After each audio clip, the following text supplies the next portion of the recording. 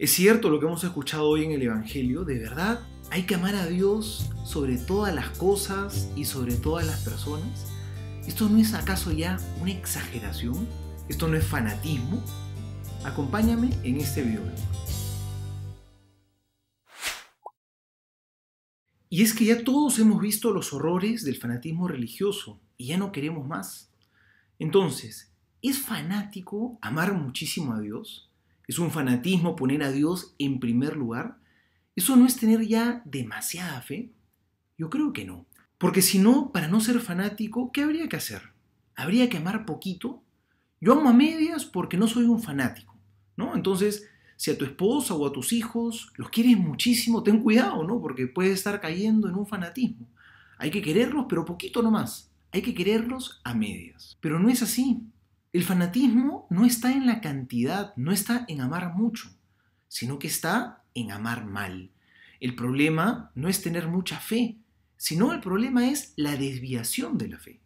Si la fe, en vez de ser algo que me lleva a actuar bien, se convierte en algo irracional y me lleva a hacer el mal, como matar a otras personas, agredir, no escuchar, maltratar, ahí sí hay un fanatismo. Pero no viene por ser muy religioso, sino que viene por ser una persona que vive mal su religiosidad. El verdadero amor a Dios no hace daño, sino que más bien construye. Este es entonces el mandamiento más importante que nos deja el Señor. Sin embargo, hay muchos que creen que en realidad los mandamientos más importantes son otros dos. Son el quinto y el séptimo, que dicen no matar y no robar.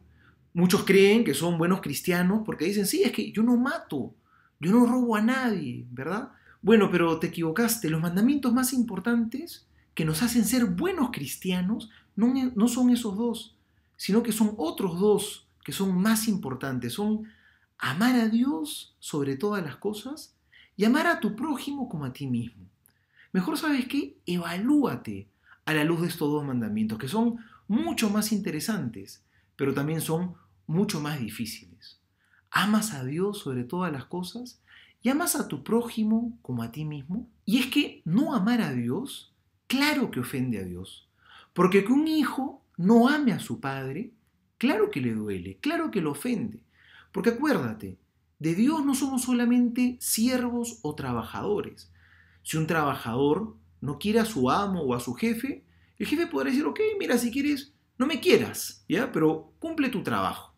Pero que un hijo cumpla todo lo que su padre le pide, pero no ame a su padre, eso claro que le duele, claro que lo ofende. El padre lo primero que espera es que sus hijos lo amen. Y a continuación de decirnos Dios que hay que amarlo sobre todas las cosas, ahora nos dice, llama a tu prójimo como a ti mismo. Son estos dos amores que en realidad no son competencia el uno del otro. Amar a Dios sobre todas las cosas no significa pues que no voy a amar a mi familia o a mi esposa o a mis hijos. No son dos amores que están en competencia, por el contrario. Porque cuando amas a Dios en primer lugar, tu corazón crece, tu corazón se ensancha y te vuelves capaz de poder amar a tus seres queridos con un amor mucho más grande.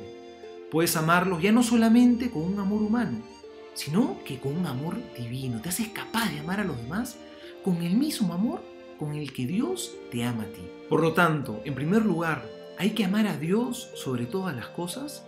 Claro que sí. Y no por fanatismo, sino porque definitivamente es lo mejor. Y amando a Dios sobre todas las cosas puedo cumplir mucho mejor este segundo mandamiento, que es amar a mi prójimo, y me vuelvo más humano. Y puedo dar no solamente de lo que me sobra, sino que puedo dar lo mejor de mi vida a los demás. No lo olvides, por tanto, amar a Dios sobre todas las cosas y amar al prójimo como a ti mismo. Este es el camino para vivir bien nuestra fe cristiana. Soy el Padre Juan José Paniagua y que Dios te bendiga.